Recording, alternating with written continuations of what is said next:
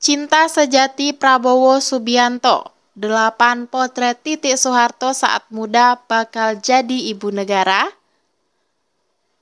Prabowo Subianto digadang-gadang bakal jadi Presiden Republik Indonesia berikutnya usai suara unggul di sejumlah hitung cepat. Karena itu, namanya kini sedang ramai disorot netizen, termasuk soal kehidupan pribadinya. Ya, Prabowo Subianto diketahui hanya pernah menikah dengan Titik Soeharto, putri dari almarhum Presiden Soeharto. Ternyata, foto Titik Soeharto waktu muda pun ramai jadi sorotan. Inilah potret Titik saat melahirkan anak pertama, Ragowo Hedi Prasetyo Jojo Hadi Kusumo atau Didit Prabowo di tahun 1984. Prabowo Subianto mudah tersenyum lebar melihat istri dan anaknya. Banyak netizen yang menyebut bahwa Titik Soeharto cantik sedari muda. Sudah bercerai, netizen mendoakan agar Prabowo dan Titik bisa rujuk dan menjadi ibu negara bila Prabowo resmi terpilih sebagai Presiden RI.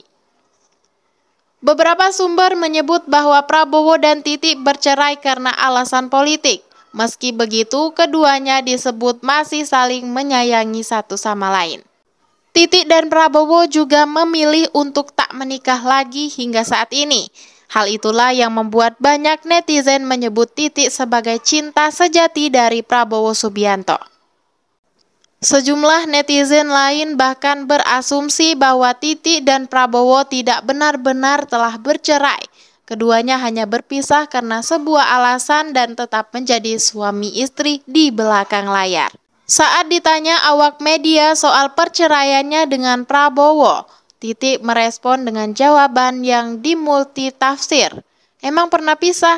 Tanya saja sama penghulunya, ujar Titik dilansir pada Senin 19 Februari 2024. Ini adalah foto saat Titik mengasuh Didit ketika balita. Tak ada yang menyangka kalau balita yang diasuh Titik saat itu akan jadi perancang busana top.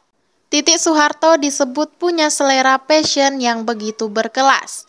Terlihat di foto ini, potret Titik bersama Didit di sebuah acara.